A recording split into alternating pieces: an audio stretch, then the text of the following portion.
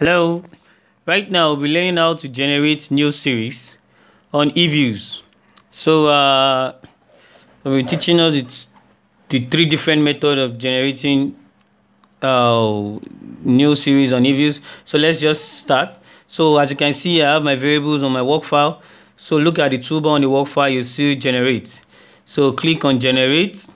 So let's say we want to generate uh, the difference of uh, the difference of investments.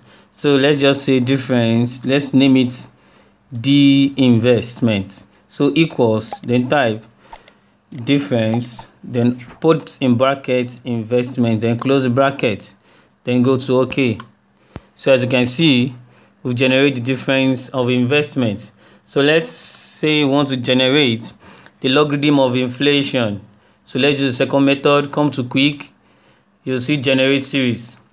So still the same thing. So just say let's name it lean inflation equals then logarithm because we want to generate the logarithm of inflation so log into brackets inflation then uh, click ok.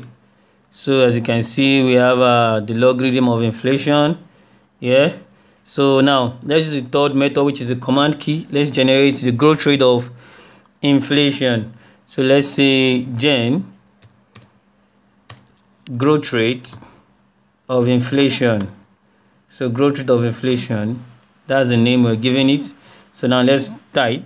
So we have D into brackets log open bracket because we've generated the log of inflation already so just into bracket log of inflation close the bracket then close all the brackets.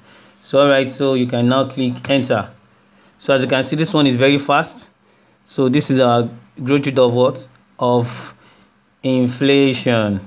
So using the three methods here so we've generated our words our new series. So in this case now let me just do a little bit recap so the first method you can click the generate here or you come to quick to find generate this generate or you use the command key to type. So this is the end of today's tutorial. So if you like this video click the like button and drop your comment. And make sure you click on the subscribe button for you to be able to view our next video. Thank you